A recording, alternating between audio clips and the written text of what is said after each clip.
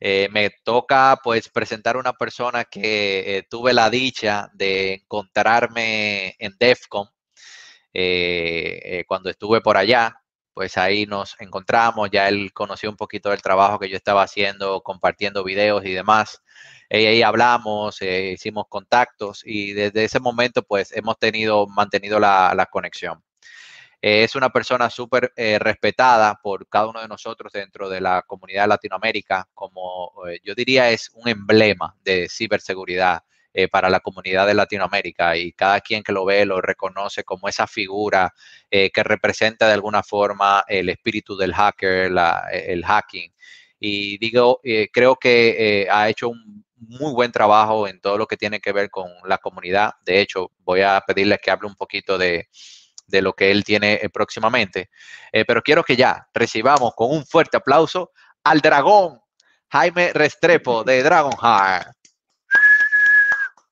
Me sonrojé y todo con, con, esa presentación. Muchísimas gracias por la invitación. La verdad es que, eh, como te comentaba, eh, yo siempre trato de apoyar a las comunidades que se ve que, comparten y que realmente eh, ayudan a que este mundo de la seguridad informática crezca y, y, pues tu comunidad es una de ellas claramente.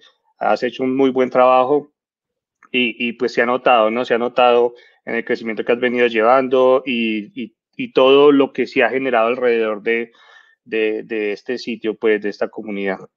La, la idea de esta charla veo que tienes como unas cositas para regalar, entonces voy a ir buscando eh, sobre, sobre la misma presentación, eh, algunas preguntas para tener listas y...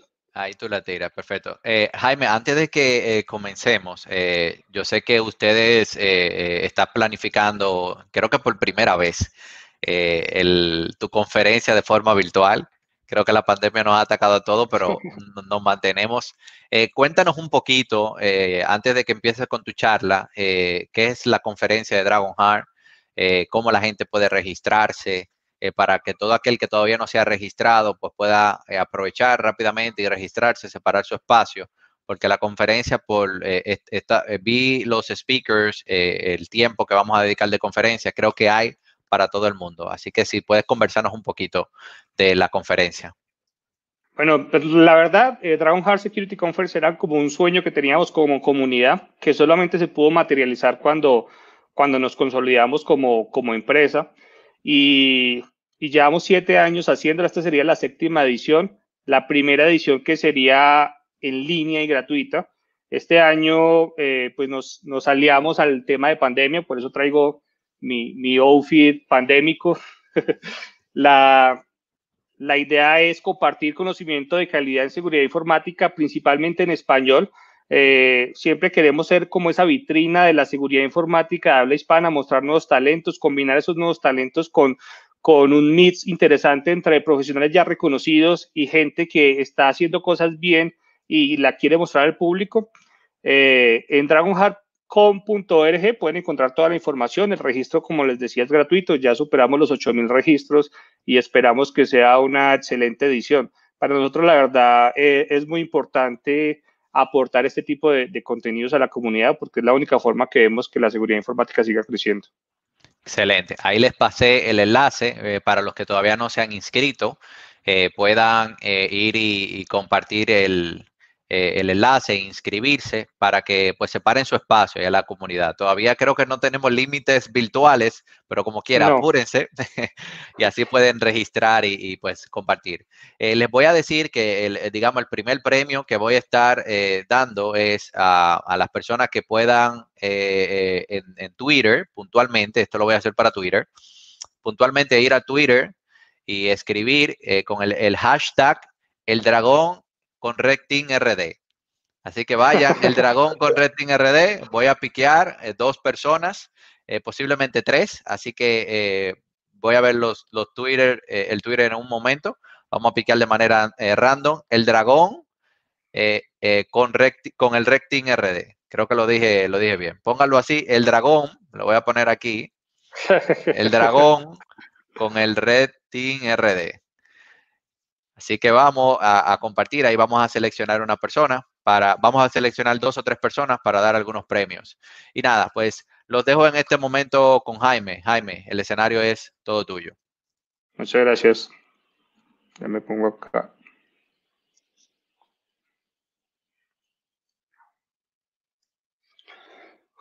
Bueno, lo que les vengo a presentar hoy es una charla titulada Lo que nadie te dijo antes de dedicarte al, mundo del Bug Bounty. Es una charla que la, yo siempre que ingreso a un mundo nuevo para mí, eh, trato de verlo desde el punto de vista de cómo hubiera sido este, digamos, este nuevo mundo, este nuevo camino para recorrer eh, si yo quisiera que me dieran estos consejos o, qué consejos me gustaría que, me dieran antes de, meterme a un camino nuevo, ¿cierto? El, la presentación, pues más de lo que ha dicho Julio, eh, no creo que sea necesario. Lo que sí les recomiendo es que tomen nota de mis datos de contacto, cualquier cosa que yo les pueda colaborar con mucho gusto. Eh, yo, digamos, estoy muy agradecido con la seguridad, eh, con la comunidad de seguridad informática en habla hispana. La verdad, todo se lo debo a la comunidad y por eso trato como de, generar esos espacios y ese conocimiento para seguir apoyando a la comunidad y comunidades como esta, pues, eh, que realmente muestra eh, que están haciendo las cosas bien. Eh, si no sabes qué es Dragonheart, Dragonheart es una comunidad de seguridad informática que nace en el 2001 rápidamente, digamos, por la falta de contenido en español que había en el momento sobre seguridad informática, empezó a tomar mucha relevancia en el, mundo de la seguridad informática en nuestro idioma. Les recomiendo pues que si no la conocen, la visiten. Ahí hay muchísimo contenido en, español, tenemos foros, tenemos eh, blog posts, tenemos pues todo este tipo de cosas, pero eh, lo que nos ha permitido mantenernos vigentes eh, en estos 18 años es que siempre nos vamos adaptando a las nuevas tecnologías. Eh, cuando los foros empezaron a perder fuerza, empezamos a ver mucho, a mover mucho las redes. Cuando vemos que los contenidos escritos ya no son tan relevantes, empezamos a sacar cosas como nuestro canal de YouTube. Recientemente alcanzamos los 19 mil suscriptores. pero seguramente hay mucho, mucho más por crecer y por compartir en este tipo de espacios. Eh, como les decía Julio, tenemos un Congreso Internacional que es algo de lo que nos sentimos muy orgullosos. Es un espacio que poco a poco se ha venido ganando, eh, digamos, un reconocimiento en toda Latinoamérica como, como un punto de reunión de la seguridad informática en nuestro idioma. Este año será la séptima edición, será gratuita, en línea, eh, online y, abierta para cualquier persona. Espero que se registren y, y ¿por qué no tener un paper de ustedes para el próximo año? Sería muy interesante. Eh, este año recibimos 82 papers y tuvimos solamente que eh, seleccionar a 27, 27 personas.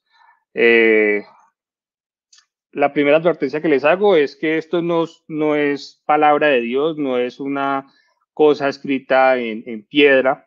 esto básicamente es un, digamos, una especie de consejos que eh, puedo transmitirles a ustedes dada mi experiencia, mi corta experiencia en el tema del bug bounty. Yo llevo aproximadamente un año ah, haciendo regularmente este tipo de prácticas. Eh, empecé como ustedes sin conocer la palabra bug bounty o escucharla eh, por algunos amigos que estaban metidos en el área, pero realmente hace 11, 12 meses eh, puse eh, un poco más de empeño a, trabajar con este tipo de, digamos, de iniciativas.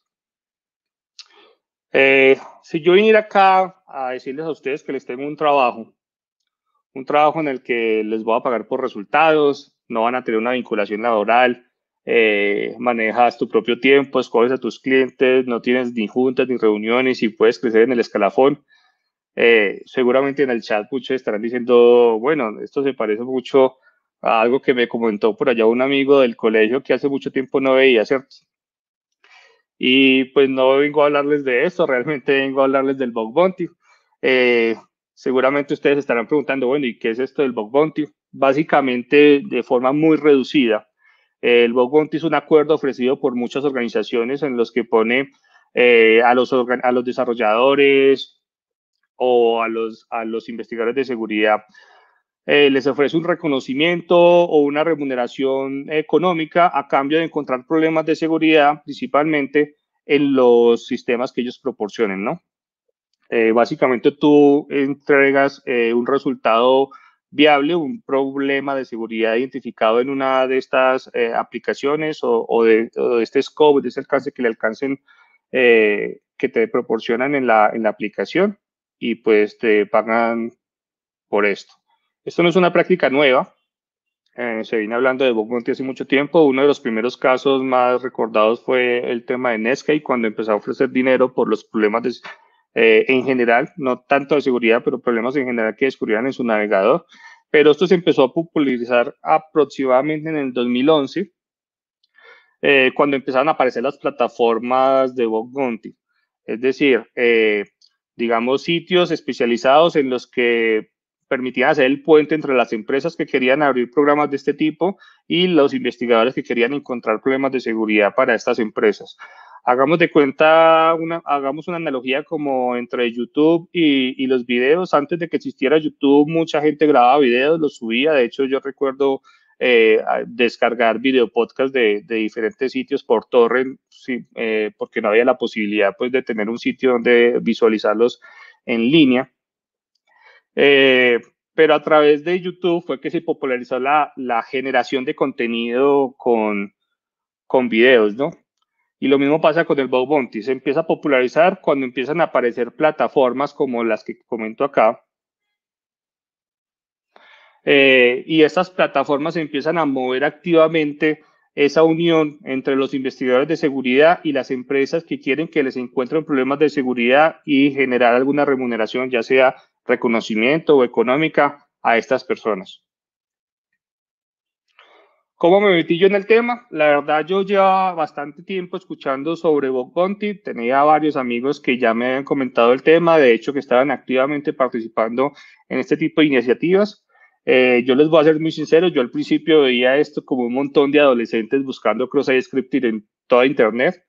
Eh, Luego me di cuenta pues que efectivamente es un montón de adolescentes buscando cross por todo Internet, pero estos adolescentes realmente llegan a generar eh, bastante dinero a través de ese tipo de, de modalidades. Y estábamos, Jacobo y yo, realizando un proyecto en México. Estábamos haciendo un viaje bastante largo en carro desde, bueno, nosotros pensábamos que era muy largo, que era más de 10 horas de recorrido. Y la, la verdad, eh, pensábamos que estábamos recorriendo como todo México y, y, cuando vimos en el Google Maps era un pedacito de, de, todo el país. México es un país que tengo, digamos, eh, muy bien, eh, en muy buena estima y, y, la paso muy bien cuando voy allá.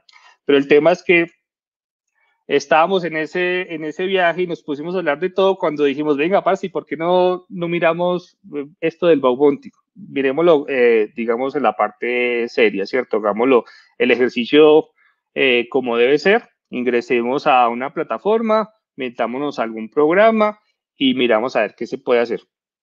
Eh, pues dicho y hecho, llegamos al hotel. Cuando llegamos al hotel, miramos una plataforma que es una de las más conocidas que hay, se llama HackerOne, y dentro de la plataforma estaba un software que es el software de Vanilla Forums, que es el software que nosotros utilizamos para el foro de la comunidad.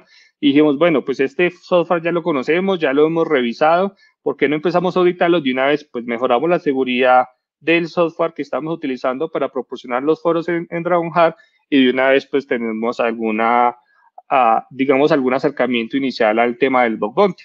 Dicho y hecho, empezamos a buscar, encontramos un problema puntual o encontré eh, puntualmente un problema eh, de los más eh, normalitos en, este tema del bug bounty. De hecho, era un cross-site scripting de tipo self, es decir, que tú mismo lo tendrías que generar.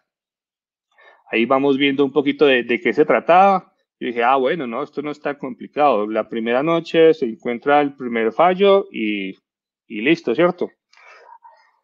El problema es que pues como todo persona novata en este, en este tema, eh, entré como con mucha emoción y, mucha adrenalina sin tomar las precauciones del caso. Aquí podemos ver pues de qué se trataba eh, el tema. Básicamente era un problema en el error que retornaba la, la herramienta, nos permitía generar un, un cross-site y reporta, reporté esto, mucha ansiedad con el primer reporte y lo primero que me llevé fue un NA, una NA quiere decir que no aplica. Eh, esto es porque el fallo que se estaba reportando estaba específicamente, eh, digamos, fuera del alcance del programa en particular. No, no aceptaban este tipo de fallos de, eh, de cross-site scripting, digamos, de tipo self. Entonces yo dije, bueno, esto es un error pues típico, voy a empezar a meterme a, aprender un poco más del tema. Se, tiene potencial porque pues si la primera noche ya se encontraban cosas, seguramente dedicándole un poco más de tiempo eh, se iba a encontrar algo más. Me empecé a documentar como con cualquier cosa nueva eh, que uno quiera aprender, pues la idea es eh, tratar de rodearse de personas que ya han recorrido ese camino. entonces me, me, empecé a meter a, a, muchos grupos de Telegram relacionados con el bug bounty. Uno de estos grupos era este y lo primero que recibo es solamente ingresar, empiezo a recibir ataques, ¿no? Empiezo a recibir gente, ah, pero ¿qué hace aquí Dragon Hack? Pero había una persona que dijo, ah, Jaime, yo soy tu fan, que veo mucho tus, eh, tus publicaciones y luego otro le dice, ah, pero ¿qué este man que hace acá? Si, si no sabe nada de Bow Bounty. Y efectivamente yo estaba ingresando apenas en el tema del Bow Bounty, pero ¿por qué les traigo y les muestro este pantallazo acá en una charla donde la idea es eh, mostrarles pues, consejos para ingresar a este mundo, ¿cierto?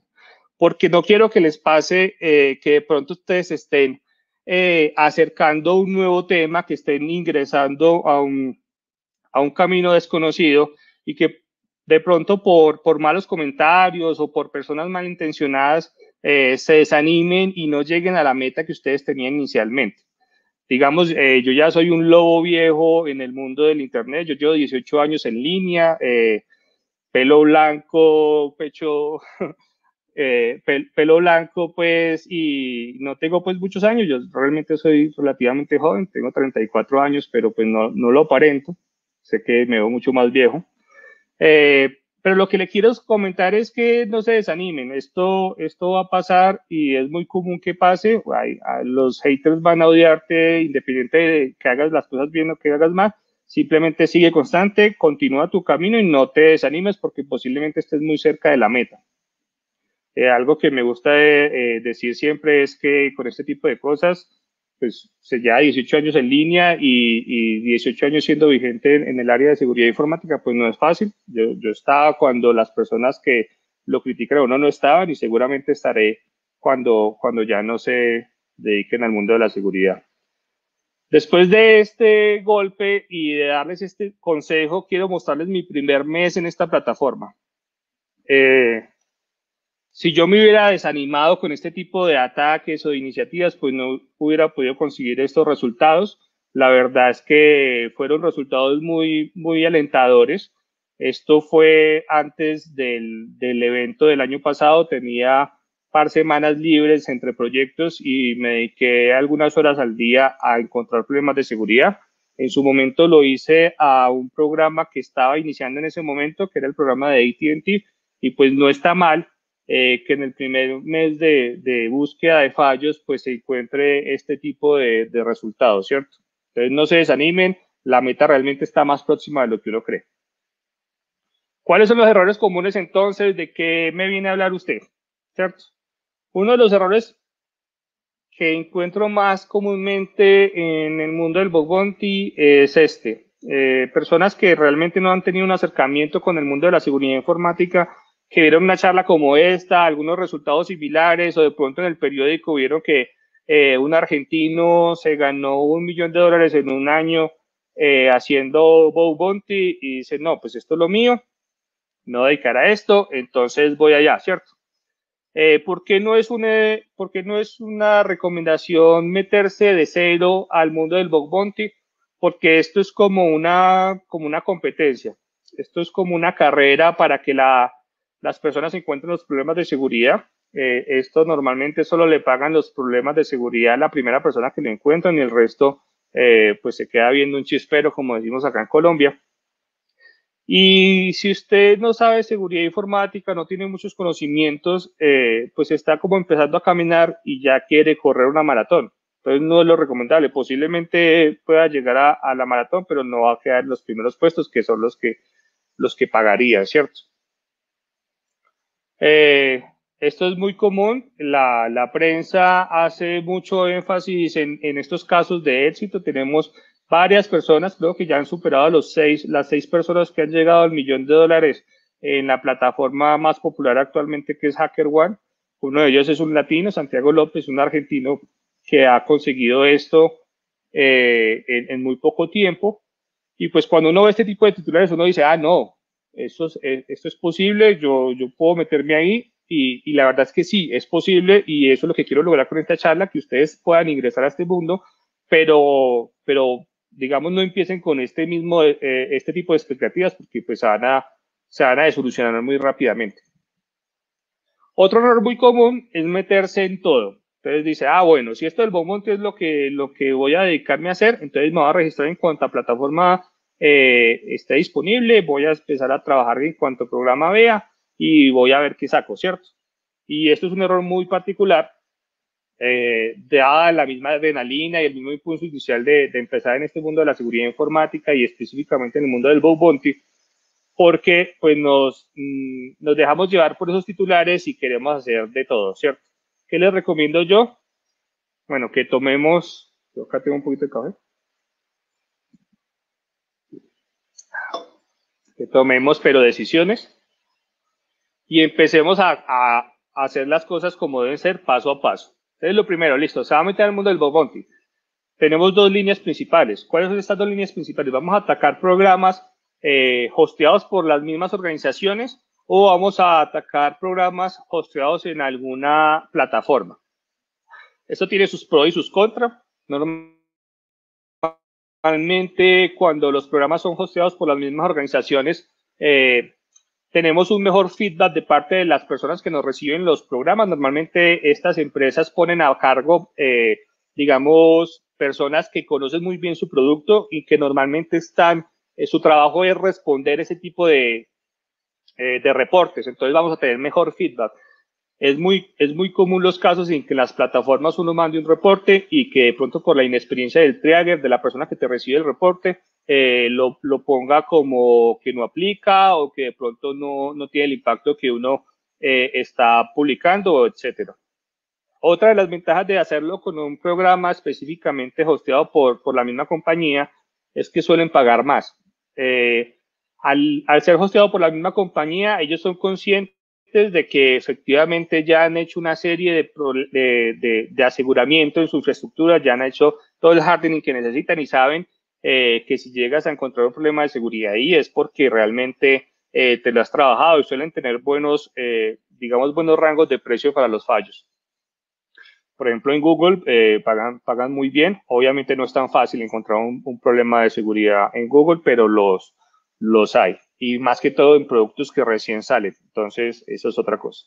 Por el lado de las plataformas, tenemos otra serie de ventajas eh, aquí una de las principales ventajas es que eh, con una sola cuenta, con, en, eh, con, una sola plataforma, tienes acceso a un montón de, de, digamos, de programas distintos. Entonces tú te registras en una de estas plataformas y vas a tener un menú para escoger eh, según tus habilidades. Entonces digamos que te registras en una de ellas y empiezas a decir, bueno, yo soy como bueno auditando aplicaciones móviles, entonces puedes buscar un programa que se ajuste a, esa habilidad que tú ya tienes bueno, yo realmente eh, me gusta mucho encontrar, eh, encontrar problemas de seguridad en código, entonces puedo buscar un programa que se ajuste a, a eso, que dentro de su alcance esté el código fuente de alguna aplicación para que tú puedas buscar problemas ahí. La mayoría de, las, de los programas, ya sean en privado o con plataformas, eh, suelen tener dentro de sus alcances las aplicaciones web. digamos, es un 80-85% de lo que se encuentra en el mundo del bug Entonces, si eres bueno en web, seguramente te va a ir bien acá. ¿Qué les recomiendo yo para empezar? Eh, que empiecen con alguna plataforma. ¿Por qué? Por lo que les comentaba, las plataformas eh, tienen más variedad, eh, te puedes ajustar más fácil a tus conocimientos, puedes elegir más fácil, eh, digamos, algo que se adapte a, a lo que tú ya eres y tiene una cosa que es muy interesante, que es la gamificación y la comunidad. Con el tema de la gamificación, ellos, eh, a diferencia, digamos, de los programas privados, que no todos tienen gamificación, ellos te van dando una serie de puntajes eh, según lo que vayas reportando y con ese puntaje tú, tú vas como escalando dentro de la plataforma.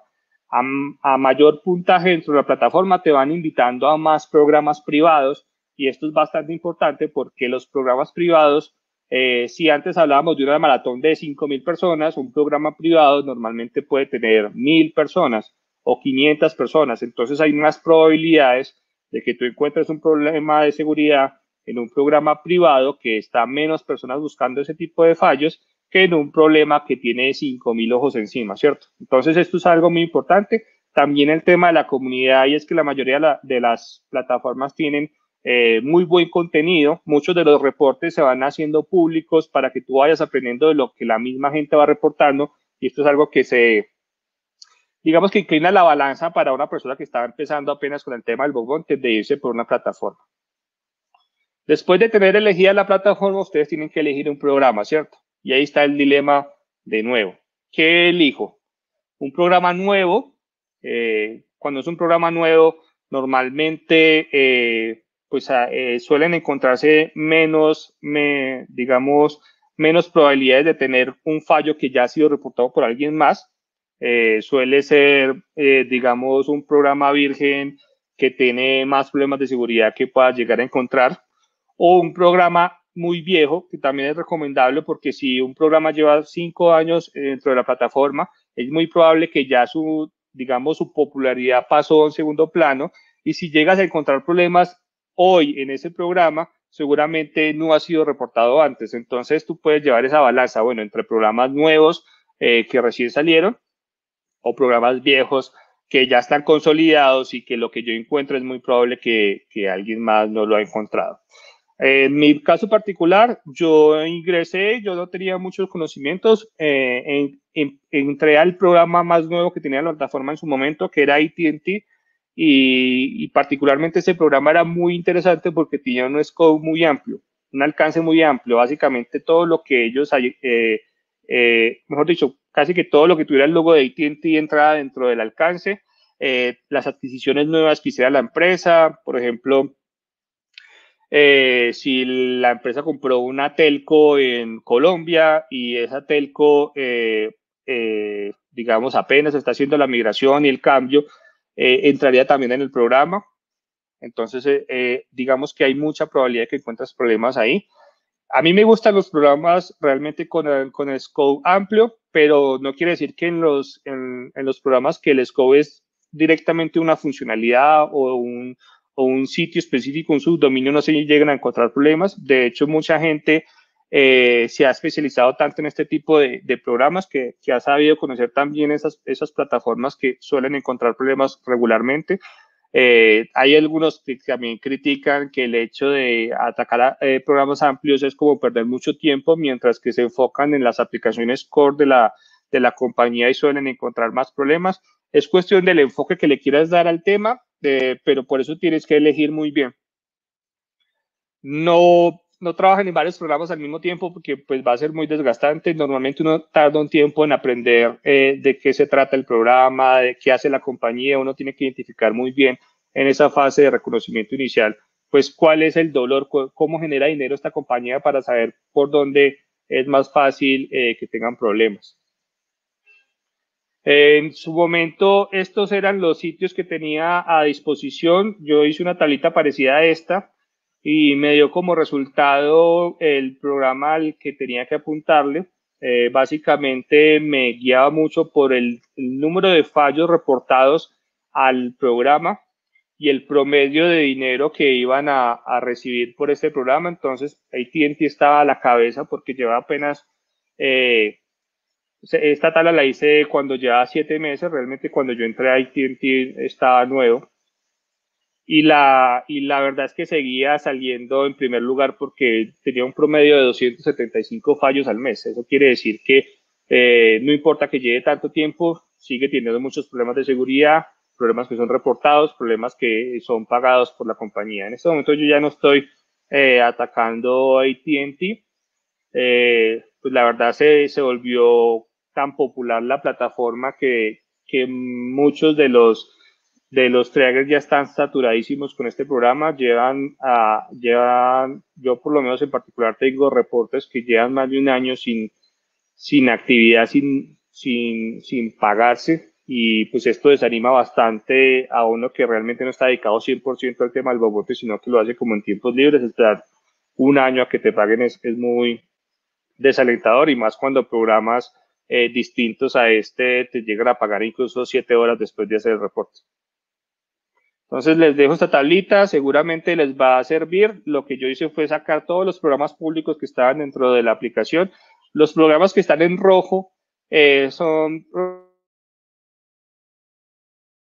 programas que te dan puntos dentro de la plataforma, eh, pero no te pagan. Y tú dirás, bueno, ¿yo para qué voy a hacer, encontrar eh, fallos ahí o reportar fallos ahí si, si no me van a pagar? Pues porque estos puntos te van a dar la invitación a programas privados, que normalmente es donde vas a sacar más dinero. Los estados de un reporte es algo también que tienes que ir identificando. Un reporte puede, puede pasar por muchos estados de, de entre ser un reporte nuevo a que te paguen una recompensa por él. Eh, normalmente, pues tú mandas un reporte, esto es un reporte nuevo, eh, ese reporte a lo largo de su vida puede cambiar eh, a distintos estados. Uno de ellos es, es que lo pongan en triaje, quiere decir que ya pasó por una revisión inicial por parte de la plataforma y que ya pasa a ser revisado por, la, por el dueño del programa. También puede ser que te pidas más información, es decir, que tú en tu, en tu reporte o en tu informe no haya sido muy claro y te pidan clarificar alguna información para ver si el reporte es válido o no.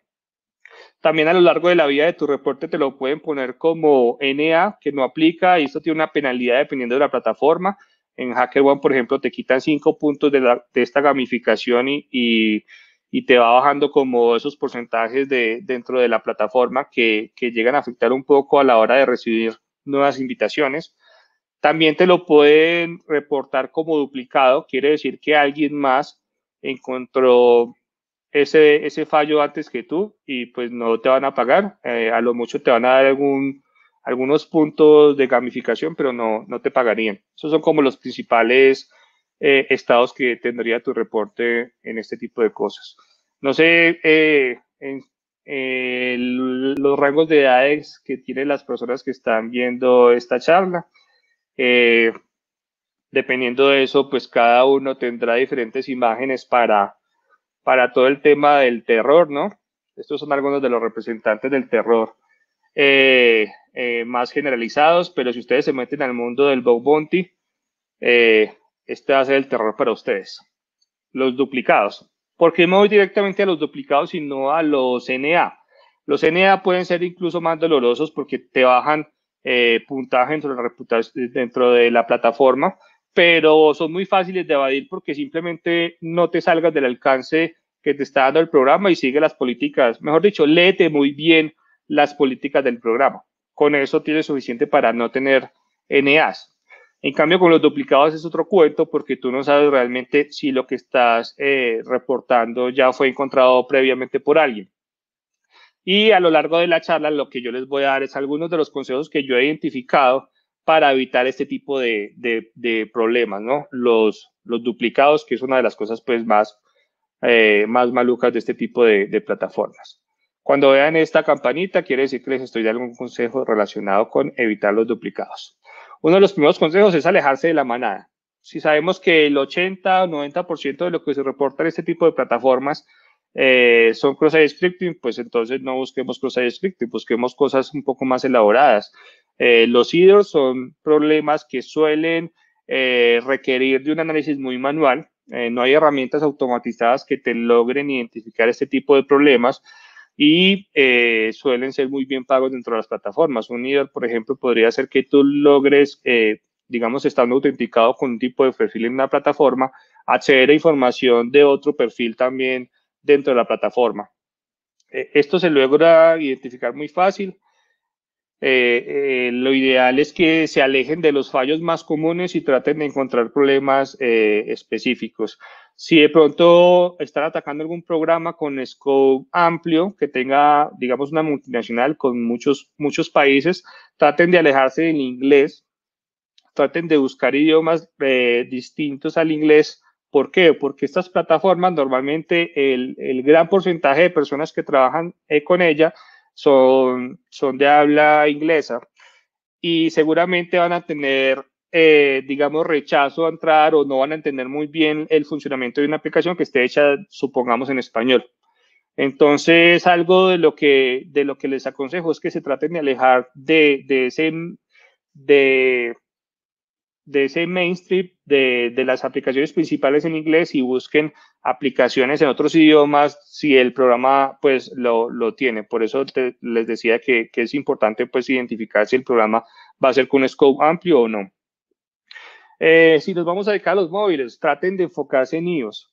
¿Por qué? Porque hay muchas más personas con conocimiento en auditoría de aplicaciones en Android que en aplicaciones en iOS también está la limitante que muchas veces se requiere un dispositivo móvil físico para auditar iOS. Es más difícil emular, necesitamos eh, un dispositivo Apple para hacer este tipo de cosas. Entonces, digamos que eh, hay esa limitante, por tanto hay menos personas haciendo ese tipo de cosas, por tanto hay más probabilidades de que ustedes puedan llegar a tener buenos resultados. Si el servicio es de pago, digamos que estás auditando, no sé, un sistema de suscripción de música, y eh, tienen una suscripción de paga, pues paguen un mes, si realmente se van a dedicar ese mes a auditar este programa, o pidan un trial gratuito que normalmente les, les dan un trial por un dólar o, por, o solamente por ingresar a la tarjeta de crédito para que vean el funcionamiento y todas las funcionalidades que están dentro de la aplicación. De esta forma ustedes se van a seguir alejando de esa manada donde la mayoría de las personas no quieren pagar, ni siquiera se registran dentro de la plataforma y ustedes van a poder encontrar esos elementos vulnerables que mucha gente eh, no ha encontrado. Si dentro del scope está el análisis de código, les recomiendo mucho buscar ese código en GitHub. Eh, no necesariamente el repositorio eh, oficial, sino la pieza de código directamente en GitHub. Muchas veces se encuentra que los desarrolladores tienen como una copia de respaldo del repositorio en su, en su GitHub personal o muchas veces yo particularmente he encontrado piezas de código publicadas en Stack Overflow donde daba información interesante del, funcionamiento de la, de la aplicación y he recibido recompensas por ese tipo de información. Algo que les recomiendo también es mantenerse muy enterados de los programas. Esto normalmente a los principios de meses, cuando más programas ingresan en las plataformas, eh, estén muy pendientes de esto porque les decía que los programas nuevos, pues, pues básicamente son los que van a tener más problemas no identificados porque apenas están saliendo. Eh, para hacer esto pueden hacerlo manualmente o utilizar una herramienta como Visual Ping. A mí me gusta Visual Ping porque me remarca de forma visual los cambios dentro de una página y me avisa, hey, en este sitio cambió tal cosa, entonces ya uno ingresa y no tiene que estar buscando ahí. Hay mucha gente que se ha hecho scripts eh, para este tipo de cosas o también hay iniciativas como la de Yes que se llama Fire Bounty. Esta iniciativa nos permite tener una especie de buscador de programas de Bounty, no solamente de la plataforma Yes sino de todas las plataformas, incluso de, programas eh, eh, hosteados por las mismas organizaciones tiene algo muy interesante y es que te permite hacer una búsqueda con filtros bastante interesantes. Eh, por ejemplo, si ustedes son buenos atacando APIs, pues pueden filtrar los programas según el scope, si tienen APIs o no tienen APIs. Y pues la verdad ayuda bastante a buscar a qué programa quieres, quieres enfocarte. Todo esto es gratuito. Eh, buscan Firebounty en, en, en Google o firebounty.com y también la cuenta de Twitter de ellos es bastante interesante porque constantemente están publicando información sobre programas nuevos.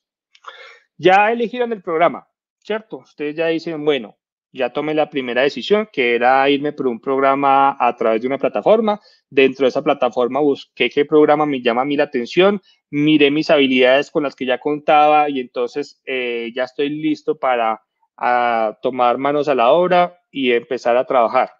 ¿Qué es lo primero que yo les recomiendo? Que hagan una muy buena numeración. Yo sé que la numeración puede parecer tediosa para muchos de ustedes. Eh, yo soy consciente que la, la mayoría de nuevas generaciones se suele alejar bastante de la numeración y quiere ir directamente a la carne, quiere ir directamente a, a ser root o a ser controlador de dominio, como nos decía Carlos. Quieren ir directamente a eso, pero realmente lo que tenemos que identificar en este tipo de cosas es cuál es la superficie de ataque que vamos a atacar. Vamos a irnos eh, a todo lo que pertenezca o que esté dentro del alcance del programa que vamos a auditar. Si ustedes le dicen, bueno, eh, dentro de mi alcance están todos esos sitios, pero también está este repositorio en GitHub y también tenemos esta aplicación móvil. Entonces, descárguense el repositorio, eh, busquen la aplicación. Muchas veces la aplicación como tal, digamos que ustedes no tienen mucho conocimiento sobre ella, pero las peticiones que están haciendo por debajo, ustedes las pueden capturar, identificar pues, que de pronto no tenían a, la, a la vista y que estarían dentro del alcance del, del programa.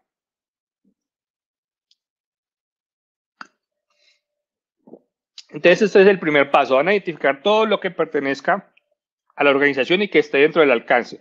Dominios, subdominios, aplicaciones, repositorios, lo que sea. Después van a depurar todo esto, van a limpiar esa, eh, esa numeración y van a identificar eh, qué es lo que realmente pertenece o no a la organización. Eh, en los telcos es muy común que, por ejemplo, esté, no sé, ferretería pepito.att.com Ustedes tienen que identificar que efectivamente eso está dentro de un dominio AT&T.com, pero no hace parte de, la, de la organización y por tanto no te lo van a, hacer válido como reporte. Entonces empiecen a limpiar eso. Es muy útil hacer eh, identificaciones de búsquedas avanzadas con, con, los motores de búsqueda, lo que se llama Google Hacking, con cosas típicas como por ejemplo la firma que llevan en el footer las páginas. Normalmente dicen copyright ATT 2019-2020. Entonces tú buscas esa frase en particular, entre comillas, en los motores de búsqueda y te vas a encontrar un montón de sitios que tienen esa frase específica en su contenido. Por tanto, es muy probable que pertenezca a esa organización, aunque no, digamos, aunque no la tenías inicialmente en tu radar. Después de eso vas a hacer un fusing de la superficie depurada. ¿A qué me refiero con fusing? Aquí vamos a tratar de hacer eh, fuerza bruta a los directorios, vamos a tratar de identificar eh, un, vamos a, hacer, a tratar de hacer un spidering a, a, estos dominios para tratar de encontrar la mayor cantidad de elementos dentro del dominio o el subdominio. Es decir, ya encontramos ese subdominio, ya, ya identificamos la mayor cantidad de sitios eh, que puedan estar dentro del alcance del programa Ahora, ¿qué vamos a hacer? Vamos a tratar de encontrar la mayor cantidad de elementos dentro de este sitio. Para eso es muy útil utilizar herramientas como Wayback, eh, eh, Wayback Machine o pueden utilizar Go Spidering. Bueno, ahorita vamos a hablar de herramientas como tal, pero pues les va a funcionar muy bien eh, el Dir Booster y ese tipo de herramientas que por fuerza bruta van encontrando carpetas y archivos. Una vez que tenemos los objetivos definidos y filtrados, pues vamos a hacer una selección. Eh, algo que yo uso particularmente es que con base en el tamaño de los resultados de, del, digamos, del fusing o, del, o de la búsqueda de Wayback Machine o ese tipo de elementos, eh, le doy prioridad a unos dominios o a otros. Es decir, yo, por ejemplo, eh, cojo el, subdominio identificado que ya está filtrado, que yo sé que responde, eh, hago una búsqueda en Google Site, dos puntos, el dominio. Veo los resultados. El número de resultados me dice qué tantos elementos tiene indexados Google sobre esa página, por tanto, qué, qué tan grande es, eh, digamos, la superficie, la superficie dentro de ese subdominio o ese dominio. Luego cojo el Wayback Machine, hago la búsqueda ahí también. Luego cojo el Go Booster y busco los directorios o el Dir Booster o lo que ustedes elijan. También eh, busco, hago un spidering con BUR y miro qué, tan grande es. Entonces, dependiendo de qué tantos elementos hay en cada subdominio, le doy prioridad para ser analizado. Para hacer estos procesos hay muchas herramientas. en la parte de identificación de subdominios encontramos el sublister, el enunal, el Recon NG, el más DNS, además que es de Owen, es muy bueno, el subfinder. Hay herramientas de una persona que se llama Tom, Tom Nom Nom. Eh, esta es muy buena, HTTP Pro, que nos permite identificar eh, muy rápidamente si un sitio responde o no, eh, es decir, si está activo o no. El Wayback URL es que nos automatiza la extracción de información de, del Wayback Machine. El DIRSER, WFUS o lo que ustedes utilicen para hacer fusing. El A-Witness nos permite sacar pantallazos e información adicional de cada uno de los subdominios que nosotros le pasemos. Entonces no tenemos que estar visitando cada uno de los enlaces, sino que ya solamente con el pantallazo nos decidimos si analizarlo un poco más a fondo o no. Eh, digamos, eh, no, nos da esa visibilidad a grandes rasgos del sitio. Eh, también hay un plugin muy interesante de la gente de Vulners para, es un script para Nmap y nos permite, con base en la salida de un escaneo de Nmap, identificar qué posibles fallos de seguridad eh, conocidos hay sobre esas versiones de servicios disponibles. Esto es algo muy interesante porque si seguimos con la línea de alejarnos de la manada, eh, pues mucha gente no se enfoca en los, en los servicios como tal, sino en las aplicaciones. Mucha gente se dedica exclusivamente a hacer web, eh, pero es muy probable que, por ejemplo, esa versión de Apache en particular tenga un problema que tú puedas reportar y, y pues te van a pagar igual por ese, por ese tipo de fallos. Eh, muchas de estas herramientas están integradas en una solución que yo les recomiendo que se llama Dominet. Esta la pueden googlear GitHub, espacio Dominet. Y es una solución que integra todas estas herramientas, eh, identifica todos los subdominios, hace todas las, las consultas, limpia los duplicados y luego nos da una salida eh, con todo este proceso ya hecho. Es una herramienta que yo recomiendo bastante, es muy útil y les puede servir a ustedes para empezar en estas fases de, enumeración. Eh, también es recomendable utilizar un BPS, un, servidorcito en Internet. Eh, para esto, pues yo recomiendo DigitalOcean porque es uno de los que menos problemas pone para hacer pentesting o, o bounty. Eh, estos códigos que les comparto acá, uno es de 100 dólares para que ustedes inicien gratis eh, eh, sus servidores en, DigitalOcean y la otra es un enlace para que se bajen una máquina Kali limpia diseñada pues con la estructura que debe tener las máquinas en DigitalOcean. Entonces ahí les dejo, si quieren tomar un pantallazo ahí o una fotico. Igual yo les voy a compartir esta presentación con Julio para que tengan toda esa información. ¿Por qué es importante eso? Porque pues no hay nada peor que estar haciendo un proceso de numeración y que de pronto se te vaya la luz o que se te desconecte el internet y pierdas ese proceso. Mientras que en internet vas a tener mejor velocidad en un servidor de estos, vas a tener eh, pues toda la disponibilidad del caso, no se te va a, a apagar el servidor y cuando tú te sientes realmente hacer el proceso, pues ya vas a tener toda la salida limpia de qué es lo que vas a auditar, ¿cierto? También les recomiendo enormemente que vean este video, que es la metodología de Bug Bounty creada por Jason Hayes. Jason Hayes es uno de los, de los principales personajes en el mundo del Bug Bounty, está muy vinculado con la gente de, de Bookcrow, que es como una de las plataformas más conocidas en el mundo del Bug Bounty. Y recientemente, en la pasada DEFCON, sacó la última versión de su metodología de Bug Bounty.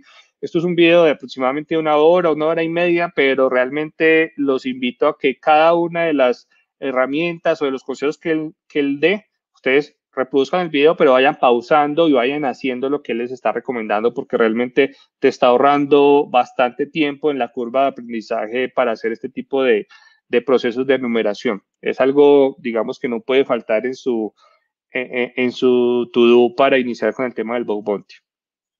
Supongamos que ya identificaron los, los endpoints que van a analizar. Listo. Aquí ya se acabó la parte automatizada. Todo lo que podían hacer antes eh, automatizando ya lo hicieron. ¿Por qué? Porque son trabajos que realmente no aportan mayor valor que los haga una persona o que los haga una máquina.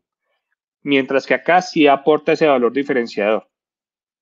Ustedes van a, identificar, yo por lo menos pues tomo esas prioridades dependiendo del número de, sitios eh, indexados por Google o el resultado que me dé el Wayback Machine o incluso lo que me dé eh, las herramientas de Fusin o de, o de Spidering, les doy como un peso a cada subdominio y empiezo a mirar entre más contenido tenga, pues es el que voy a mirar primero porque hay más probabilidades que entre ese alcance tan amplio de ese subdominio, de ese dominio, pues yo encuentre algún problema de seguridad.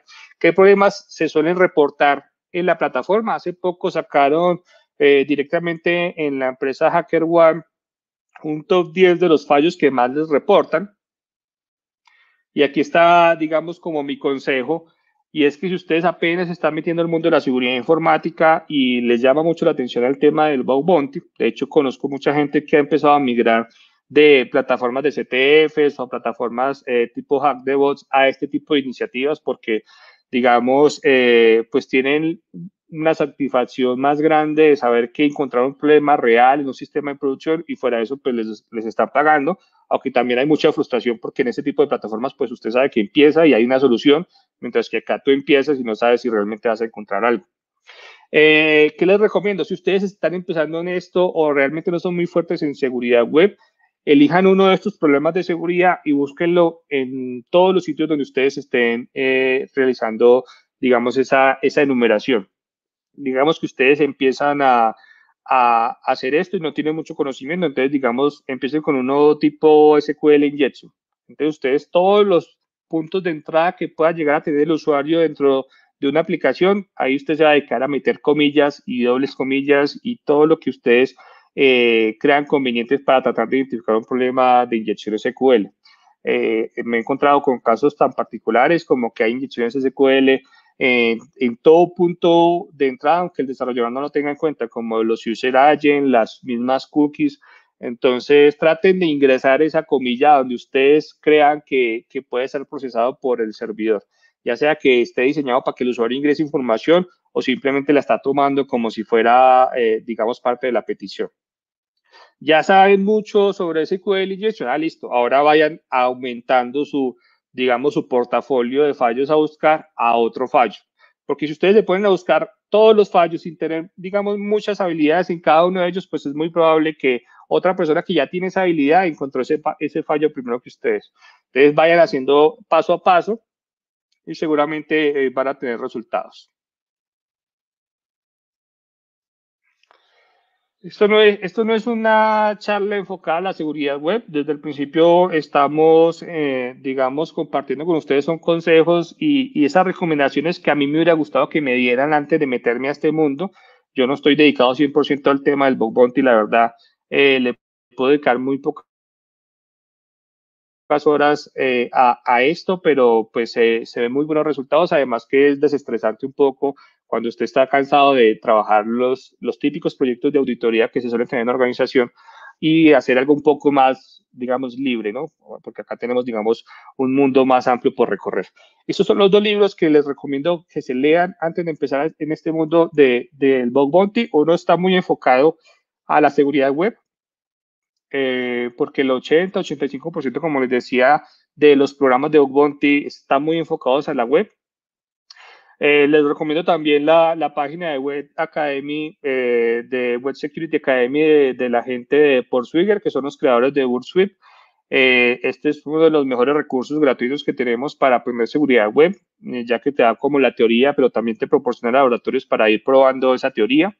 Y enfocado pues al tema del bug bounty en particular, les recomiendo este libro de Real World Bug Bounty, eh, Bug Hunting porque lo que hace es mostrarnos fallos reales y irnos guiando eh, a, lo largo del libro, eh, mostrando los fallos reales y cómo los, los pudieron haber encontrado.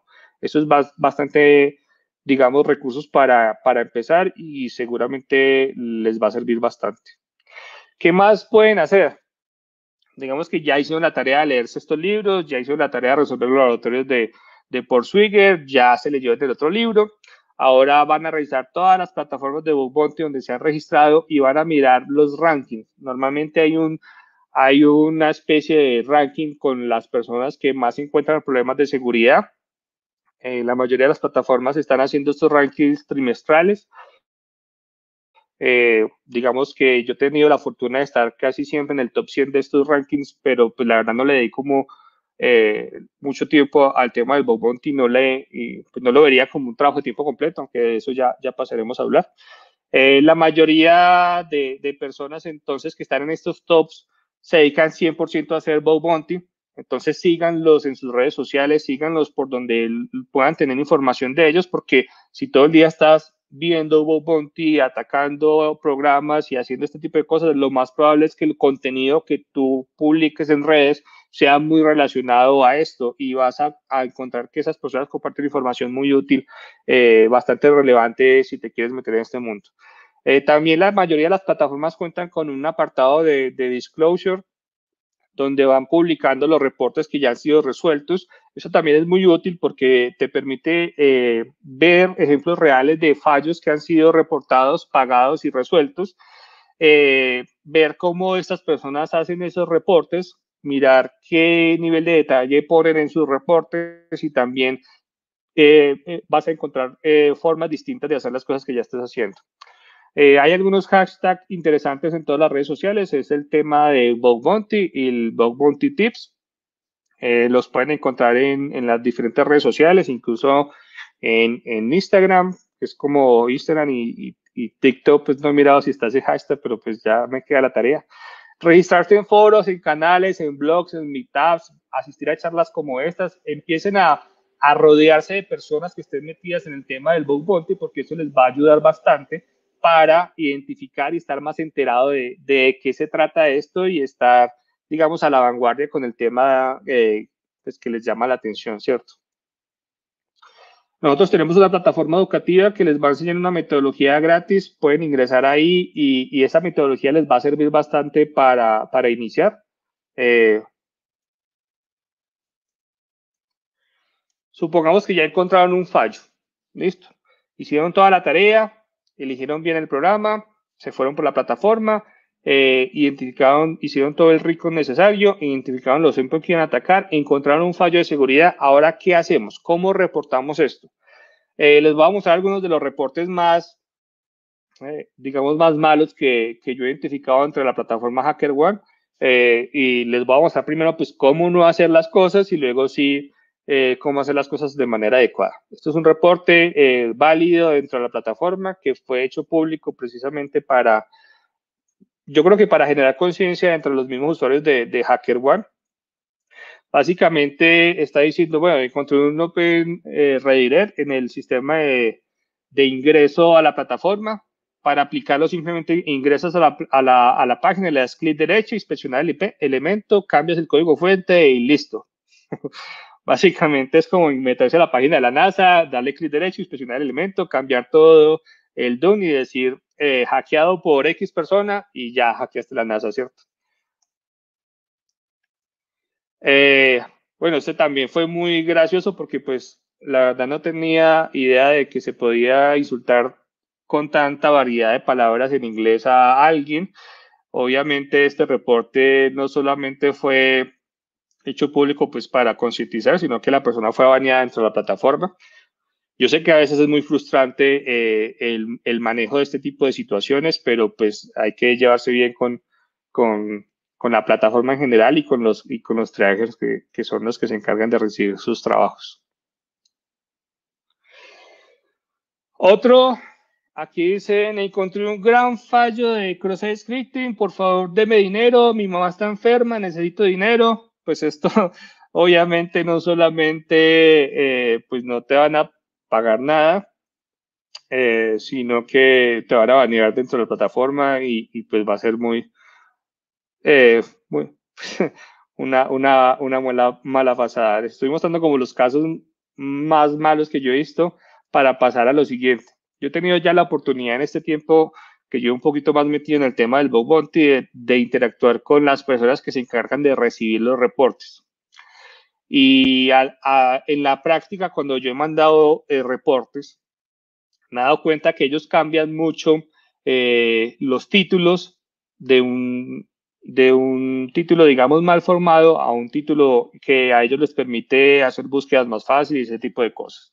Lo que les voy a mostrar a continuación son algunos de los consejos que yo he identificado y que los mismos traders me dicen, ah, lo que pasa es que usted no es el único que reporta en esta plataforma, tenemos más de 600 mil personas registradas, tenemos más de 5 mil reportes al día, eh, tiene que ayudarnos a, a, hacer nuestra tarea más fácil. Entonces pónganse en el, el papel de una persona que va a revisar 5 mil reportes al día y van a ver que muchos de los consejos que les voy a dar para que eviten eh, problemas de la plataforma, pues empiezan a cobrar sentido, ¿no? Porque desde el lado de uno, si uno reporta un reporte a la semana, dos reportes a la semana, pues uno dice, ah, no, pues es que ni siquiera se tomó el trabajo de leerlo, ¿cierto? Pero cuando usted ya ve el bloque de reportes que ellos tienen que revisar por persona y por programa, pues entonces ya la mentalidad eh, de, uno pues va cambiando un poco. Entonces, lo primero que les recomiendo es que utilicen títulos descriptivos. ¿Por qué? Para ellos es mucho más fácil. Si usted tiene 5000 correos en su bandeja de entrada, lo más probable es que usted no se meta a revisar los 5000, ¿cierto? Usted se va a guiar por los asuntos para ver qué le llama la atención y qué no le llama la atención. Lo mismo va a pasar con estas personas que se encargan de revisar. Entonces, si usted pone títulos más descriptivos, por ejemplo, en esta URL encontré una cadena de problemas de, seguridad o de mala configuración en el servidor que me llevaron a un robo de cuenta. Esto es mucho más descriptivo que simplemente decir en el título robo de cuenta, ¿cierto? O secuestro de cuenta. Otro ejemplo, encontré un cross-site scripting en tal dirección. Es muy probable que solamente teniendo ese título, pues ya te estés ganando un duplicado porque no sabemos específicamente con el título dónde está ese cross-site scripting, qué parámetros es el que utilizaste, si lo estás mandando por GET, por POST, qué estás haciendo. Entonces, si dice, ah, este man tiene un cross-site scripting acá y este otro también tiene un título parecido, entonces listo, duplicado. Me salí de eso y tengo dos reportes menos o un reporte menos que, que trabajar hoy de los 5000 que tengo en la lista de espera, ¿cierto? Mientras que ustedes escriben algo tipo, encontré un cross-site en tal parámetro dentro de tal archivo, pues ya es mucho más claro lo que se está reportando. Es muy probable que si alguien encontró un fallo también de cross-site scripting en esa misma página, pero en, en otro archivo que se llame, no sé, membresías.php, pues no lo tome como duplicado de este porque desde el mismo título se está diciendo que son distintos archivos, incluso distintos parámetros.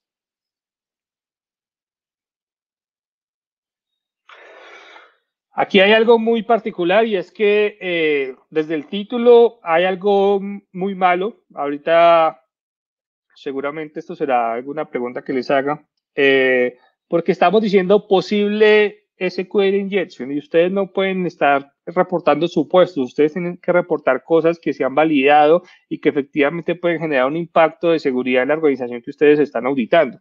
Entonces, si, ni siquiera ustedes confían en que el reporte sea válido, ¿por qué un triaje le va a comer el cuento y le va a decir si efectivamente es un SQL injection? Ellos no se van a tomar el trabajo de validarlo. Si ustedes no están seguros de que sea un SQL injection, pues no lo, no lo reporte hasta que tenga esa certeza.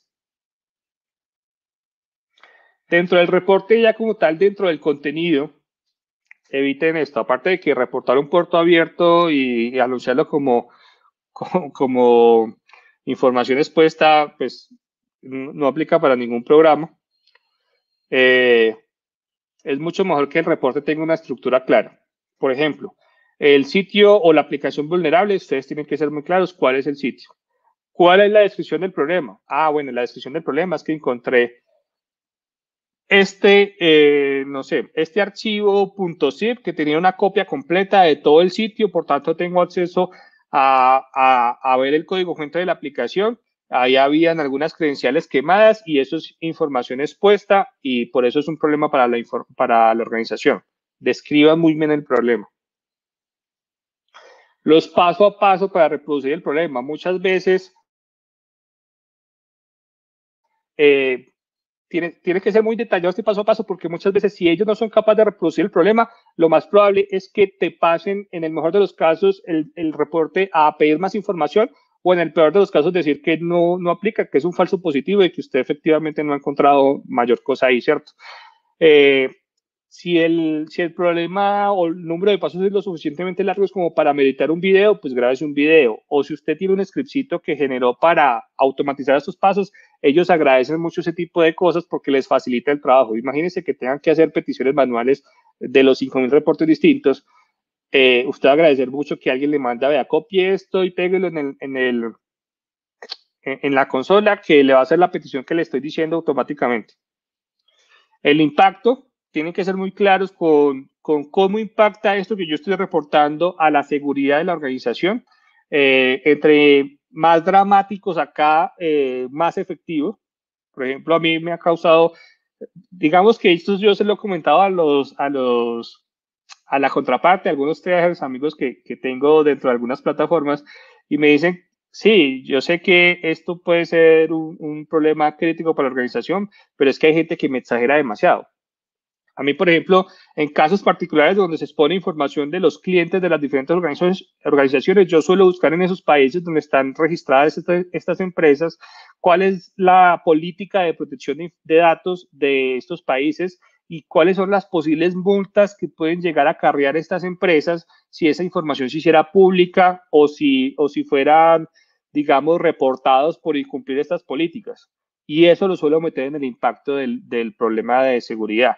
Y esto suele aumentar la criticidad del reporte. Entre más crítico el reporte, pues mejor pagado. Eh, si, si, bueno, no, no, no, exageren pues al punto de decir mentiras de no, es que con este cross se le va a explotar el servidor, por tanto va a tener indisponibilidad y no, cosas que realmente sean válidas y que, y que, y que puedan llevarse a cabo, ¿cierto? Por ejemplo, si usted encuentra un cross scripting almacenado en un panel de administración, es muy probable que el administrador de ese sistema ingrese a ese panel, ejecute ese código JavaScript en su navegador y usted pueda tener acceso a ese panel con las credenciales de su usuario administrador. Pero si usted no reporta eso, lo más probable es que ese mismo problema simplemente pase como un cross scripting común y corriente. Entonces tienen que, eh, digamos, manejar un equilibrio, pero aquí sí se vale, digamos, plantear el peor escenario. Eh, yo no soy muy bueno con el inglés, la verdad soy muy sincero con eso. Yo la mayoría de mis reportes las, los redacto en español, los traduzco con Google Translator y luego lo paso por una herramienta que se llama Grammarly, que de hecho también tiene un programa de Bob Monty y eh, le corrijo como la gramática para que eh, pues se entienda lo que yo estoy queriendo expresar, ¿cierto? Después me he desarrollado una serie de plantillas para los diferentes fallos que suelo reportar más seguido y simplemente pues eh, tengo, tengo como esas plantillas en Markdown, que es el formato más común dentro de las plataformas, para reportar más rápidamente y porque ya pasé por el trabajo de explicar bien cada uno de los fallos. Después es muy importante hacer un seguimiento a sus, a sus reportes. Recuerden que si nos ponemos de nuevo en la tarea de, de, de ponernos en los zapatos de un, de un, de un eh, pues ellos reciben miles de reportes al día y seguramente no se van a recordar que usted hace tres meses o hace cinco días mandó un reporte. Entonces, lo ideal es que ustedes vayan añadiendo comentarios sobre los reportes que están haciendo con un, con un, mat, mínimo de 30 días entre comentario y comentario para que sepa que como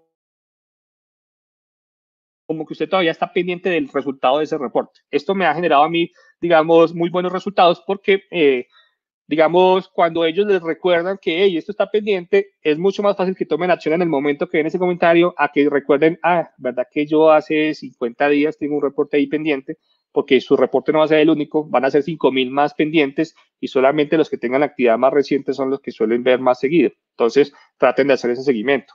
En ese seguimiento es interesante que ustedes validen si ya fue reparado el problema o no.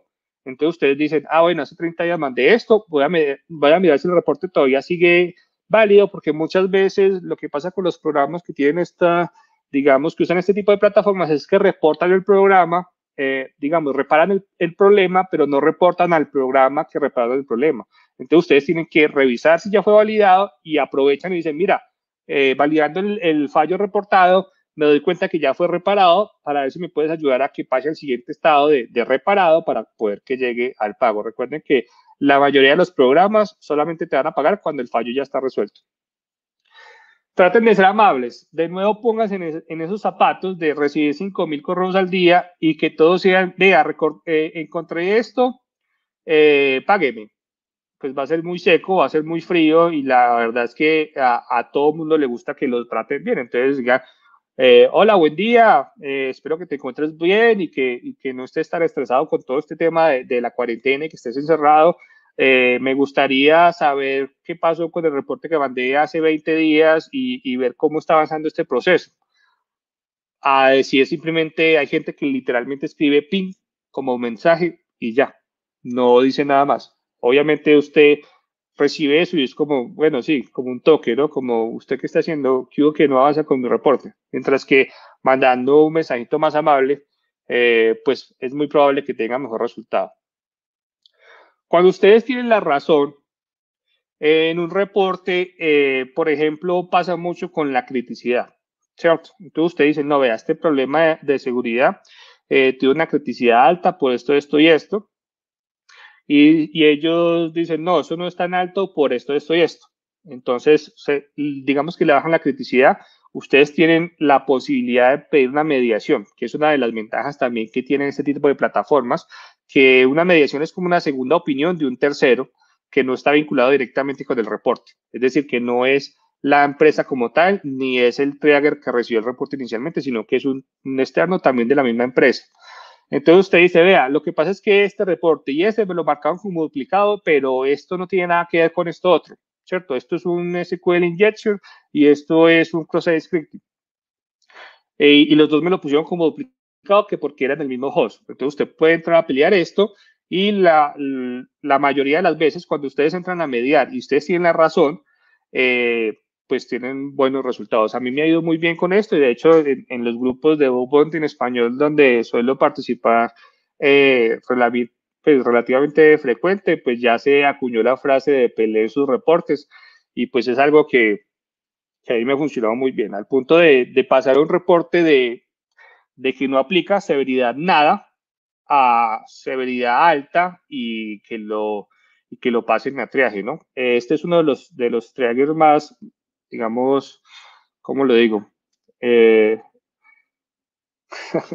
más estrictos a la hora de tomar sus reportes, pero después de uno justificar adecuadamente y, mostrarle técnicamente por qué lo que usted está diciendo es verdad, eh, pues suele, suele, suele tomar las acciones pues, más correctas, ¿cierto? Entonces peleen sus reportes. Algunos me han dicho, los que conocen a Steel, que, pues, que me mande a hacer una camiseta con, con, este tipo de cosas, porque pues es, es uno de los más fuertes a la hora de, de que te tome el reporte y si, si realmente no ve un impacto real de seguridad en, la, en el programa, pues no te lo va a tomar. Después, ¿qué pasa? Pues que esto se vuelve un ciclo infinito. Ya reportado el reporte, ¿ahora qué pasa? Pues, ¿cuál es el siguiente fallo que vas a encontrar? Y ahí es donde entra algo muy interesante que muy poca gente toma en cuenta y es eh, que empiecen a tener en cuenta también el desgaste eh, mental que suele tener este tipo de, procesos. Este, este es Carlos, no Carlos Pérez, sino Carlos, que nos dice que el si no es estresante, eh, pero se le nota pues en la cara que realmente sí está desgastado, ¿no? De hecho, este era yo antes de meterme al mundo del Bug y esto es un año después de haberme metido al Bug y se nota un poco el desgaste de esto. Entonces yo lo que les recomiendo es eh, este tipo de, de, consejos para que no se quemen tanto. En el mundo de, de IT en general es muy común eh, eh, tener procesos de, de, burnout. Busquen el, el fenómeno burnout, básicamente sentirse quemado, sentirse agotado física y mentalmente para evitar ese tipo de cosas, la idea es que ustedes definan espacios y horarios para hacer cacería, para que eh, hagan bow bounty. Eh, yo, por ejemplo, esto no lo tengo definido. Yo literal lo que hago es entre proyecto y proyecto. Si tengo una semana o de pronto se retrasó una aplicación para que nos la entregaran y eh, empezar la auditoría, pues aprovecho esa semanita de hacer una o dos horas al día de web bounty y tratar de encontrar problemas como para aprovechar el tiempo, ¿no? Y, generar de pronto un dinero extra. Eh, también automaticen lo que más puedan dentro de lo que es automatizable. Como les decía, la mayoría de los, de los problemas de seguridad no los vas a encontrar, eh, digamos, con un scan del Burst Suite Pro. Lo que vas a hacer es encontrar los puntos de entrada de información de los, de, dentro de la aplicación y ahí vas a tener que empezar a probar manualmente y ahí es donde más o menos o más comúnmente se encuentran los problemas de seguridad. Eh, las labores que sean automatizables como la enumeración de dominios o incluso el, el spidering dentro de la página, eso sí lo puedes automatizar y, de hecho es recomendable que lo hagas para ahorrar tiempo, para que cuando tengas ese espacio definido, ese horario para cacería, sea solamente de procesos eh, realmente que impliquen el, el aporte real de una persona sentada frente a un computador y no que lo haya hecho pues una máquina. Aprender a manejar la ansiedad después de reportar. Esto es algo muy, muy frecuente, más que todo cuando usted cree que encuentra un problema muy crítico para una organización. Hace poco yo encontré un problema eh, que para mí era muy grave en una entidad bancaria, eh, que fue muy simple de encontrar, pero que era muy grave porque me permitía generar incluso tarjetas de crédito de forma arbitraria. Y para mí era muy crítico, lo reporté con, digamos, muy rápidamente y generó muy, mucha ansiedad porque sería un reporte pues muy bien pago. Y luego la entidad se excusó con que no, que eso era información de, de prueba, era un sistema de testing, que eso no, no, que no, no aplica mucho y, le bajó la criticidad pues bastante. Entonces, traten de manejar esa ansiedad, traten de distraerse, reúnanse con gente que también haga cacería, reúnanse con gente que haga bug bounty. Eso ayuda mucho no solamente a, aprender cosas nuevas, sino también tener a alguien que ya ha pasado por un proceso similar al que tú estás cursando, pues es interesante. Ahí en ese tipo de comunidades está muy bien visto que tú preguntes, mira, tengo esto, ¿qué tipo de, de criticidad le puedo poner? O mira que, que me pasó esto con tal y tal cosa. Es muy común que se suele generar un buen ambiente de colaboración al menos en las comunidades en las que yo suelo eh, pertenecer. Eh, recuerden que esto es una competencia, eh, esto es una carrera que no tiene fin, es un ciclo infinito, pero que debe saber cuándo parar. Cuando usted ya se sienta cansado, usted lleva tres horas, cuatro horas, no ha hecho mayor cosa, no ha avanzado, pues desconectese un rato, póngase a ver televisión, juegue videojuegos, léase un libro, descanse de esto y seguramente cuando termine de ese proceso eh, de, digamos, de, distracción eh, y vuelve, ya va a encontrar la, solución al problema que se estaba planteando. Eh, esta es una de las comunidades de Bob Bounty en español a la, a la que pertenezco. A mí me invitó puntualmente Joel eh, que es una persona pues que vio que había un vacío grande en el mundo del bug bounty en español. Y, y Antonio pues entre los dos generaron un, un, un, espacio muy amable, muy, muy agradable para participar en el tema del bug bounty, no como el que les mostraba inicialmente, que les ponía como ejemplo como para que perseveren, sino que acá realmente se ha manejado un muy buen ambiente, hemos reunido ya más de 2.300 personas alrededor del mundo del bug bounty en español, que creíamos que no había tanta gente en este, en este mundillo o interesados en pertenecer a este mundo. Y pues la verdad es que se generaba un ambiente bastante interesante. Les recomiendo que se ingresen a, esta comunidad de Telegram y seguramente ahí van a aprender bastante. Ahora ya tienen como los consejos que a mí me hubiera gustado recibir antes de meterme en este mundillo. Yo llevo menos de un año ya en el mundo del bug bounty, digamos, reportando relativamente activo dentro de las plataformas. Eh, lo que sigue está del lado de ustedes. Muchas gracias por, por digamos, prestarme este espacio y, y, y, compartir conmigo estos momentos y estos consejos. Me imagino que habrá un espacio de preguntas, entonces soy todo oídos. Excelente, Jaime. Muchísimas gracias ahí por eh, tu tiempo y de verdad súper interesante charla para todos aquellos que quieren iniciarse en el, en el mundo del bug bounty. Eh, yo creo que en algún momento me ha pasado por la mente o, me pasó en algún momento hacerlo. Eh, digo, después de mirar alguno de los slides, no sé si fue buena o mala la decisión que tomé de no, no hacer el jumping eh, pero creo que es una, eh, excelente experiencia para aquellos que quieren eh, ya sea ganar dinero con, con el tema de, del bug bounty en su tiempo libre o una alternativa incluso a CTF, como tú mencionabas, como parte de la charla. Así que bueno, voy a dejar en lo que van llegando preguntas. No sé, Jaime, si tú quieres hacer una pregunta para nosotros entonces poder sortear algunos de los VIP que tenemos ahí eh, disponibles para los participantes? Bueno, yo eh, hice mucho énfasis en una serie de herramientas para hacer enumeración, pero hay una que destacó sobre ella y que enmarqué en el, en el anillo del Señor de los Anillos. ¿Cómo se llamaba esa herramienta? Vamos a ver. Repite la pregunta para que todos lo tengan pendiente. Hay una, hay una herramienta que juntaba eh, muchas de las herramientas de, reconocimiento que recomendaba. ¿Cómo se llama esa herramienta? Alguien dice Do, do Mainnet. Sí.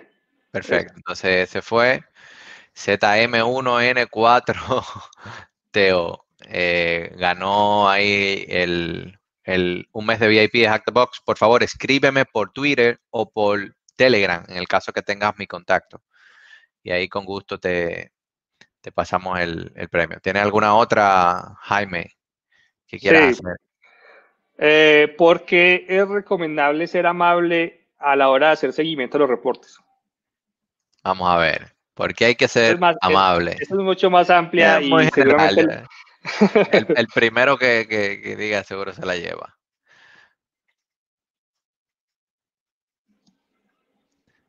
Paul Steel. Esa está muy buena. de hecho, él es, él es, muy respetuoso, pero sí muy, muy estricto con, su reporte. Bueno, debémoselo a, a Jonathan Rondón. Sí, Jonathan estuvo, estuvo buena. Al menos nos reímos ahí bastante.